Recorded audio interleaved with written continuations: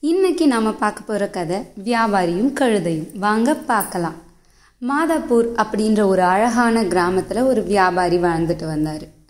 அவருடைய வியாபாரம் என்னன்னா உப்பு மூட்டைகளை கழுத மேலே வச்சு அக்கம் பக்கம் இருக்க கிராமங்களுக்கு போய் அதை விற்று அதில் வர வருமானத்தில் தன்னுடைய வாழ்க்கையை நடத்திட்டு வந்தார். அதே போல் ஒரு நாள் சில உப்பு மூட்டைகளை எடுத்து அவருடைய கழுத மேலே வச்சு தெற்கு பக்கம் இருக்க ஒரு கிராமத்துக்கு போகலாம் அப்படின்னு முடிவு எடுக்கிறாரு. அப்படி அவங்க நடந்து போகிற கொஞ்சம் தூரத்துலேயே ஒரு நதி அவங்களுக்கு தென்படுது. வியாபாரி கழுதையை முதல்ல நதியில் இருக்கிறாரு. ஆனால் கழுதை ரெண்டு அடி எடுத்து வச்சோடனே வழுக்கி விழுந்துருது.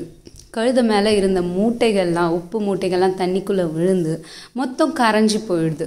இப்போ வெறும் மூட்டைகளை மட்டும் வியாபாரி எடுத்து கழுத மேலே போடுறாரு. கழுதைக்கு வெயிட்டே தெரியல. என்னடா இது வெயிட்டே தெரியல அப்படின்னு யோசிக்குது.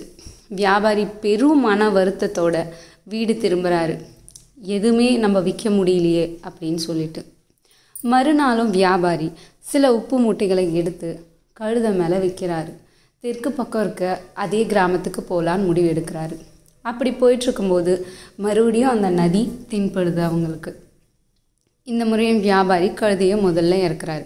ஆனால் கழுதை இந்த முறை வேணும்னே விழுந்துருது. ஏன்னா நேற்று அது ஃபீல் பண்ணுச்சு.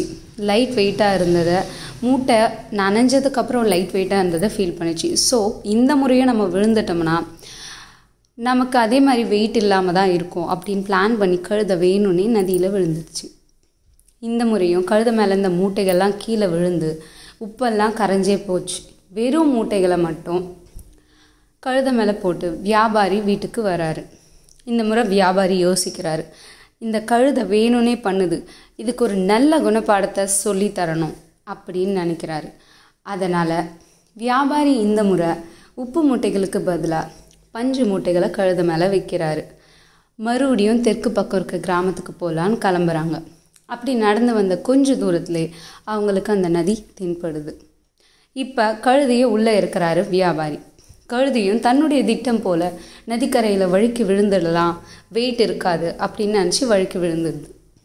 கொஞ்ச நேரத்திலேயே மூட்டெல்லாம் நனைஞ்சி ஆனால் கழுதை நினச்ச போல் நடக்காமல் மூட்டெல்லாம் நனைஞ்சி பஞ்சு அது உள்ள இந்த பஞ்சு தண்ணிகளை நல்லா உறிஞ்சி எடுத்துட்டு வெயிட் ஆயிடுச்சு.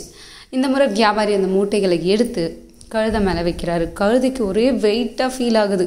என்னடா இது? நம்ம ஒன்று நினச்சா அது ஒன்று நடந்துருச்சு அப்படின்ட்டு வீடு சேர்ந்தோடனே வியாபாரி கழுதையை பார்த்துட்டு சிரிச்சுட்டே சொன்னாராம்.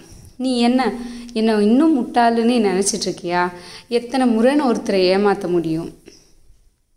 யாரும் ஏமாறுறவங்களும் ஏமாந்துட்டே இருக்க மாட்டாங்க அப்படின்னு சொல்கிறாரு இதுதாங்க இந்த கதையோட கருத்து.